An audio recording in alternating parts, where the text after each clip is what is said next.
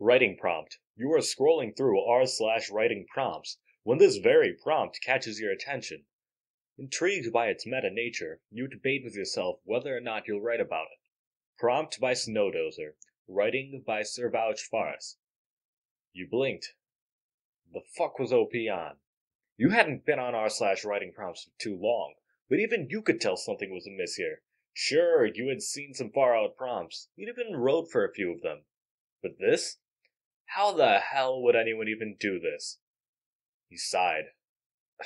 What was there even to write about? You, just sitting here mulling over whether or not to write anything? It sounded dreadfully boring.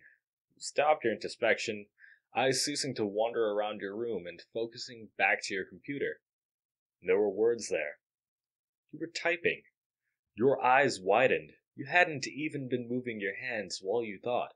Yet there they were, dancing across the keyboard and narrating your thought process.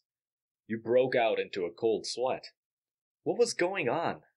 How could your hands move on their own like that? You couldn't feel them anymore. It wasn't good. What really worried you was how it was typing out your thoughts, almost faster than you thought them. Christ, it got that too! And that. And that! Fuck. What did it mean? Why did the prompt make this happen? Did the prompt make it all make it happen at all? Another thought crossed your mind. Oh god, it was faster now.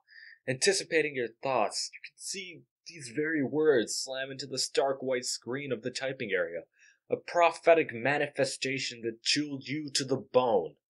It was getting more descriptive, you noticed, as if God were a child, experimenting with his powers and growing accustomed to his state of being. A thought suddenly popped into your mind. If this thing was controlling your fate, and at this point was, then what happened when, when the text ended? Then it told you. You realized that what was in store for you after the period at the end of the next sentence, and this one was the penultimate thing you would ever experience. You screamed. Thank you for listening. This narration was done by Cast Starman.